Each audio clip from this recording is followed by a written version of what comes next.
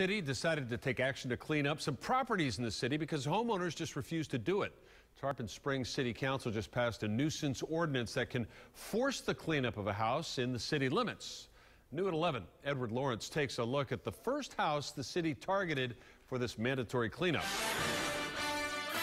You can't get to the door of 304 West Lime Street in Tarpon Springs to see if the owner, Maria Lowe, answers. Using the driveway is out of the question. Stuff sits everywhere, from decaying fruit near the property entrance to cardboard boxes full of paperwork on the steps.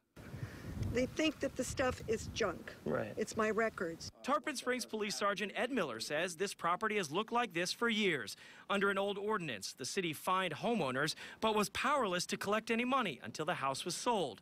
Now, a new ordinance gives code enforcement more power. Now this ordinance will give us a little bit of teeth to, to take some serious action. Sergeant Miller runs code enforcement for Tarpon Springs. He used this house as an example to convince the city council to pass a new nuisance ordinance. Sergeant Miller works with a homeowner to develop an action plan. After that, the homeowner has 45 days to fix the issues. Fines are added to the property taxes, and if an owner can't pay, they lose the home. Lowe gave me all kinds of excuses. Comes out of my car, sits here till I get back. If I'm too tired and I'm exhausted, Yeah. it sits here. It rains, I've got trash. What about just throwing it all away? I- can't. I've got I've got to deal with IRS. Okay. I've got my school records in all mixed hmm. up. I'm going to throw my clothes away. Right.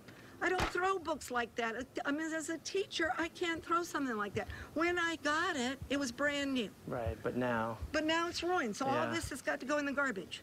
Edward Lawrence, ABC Action News.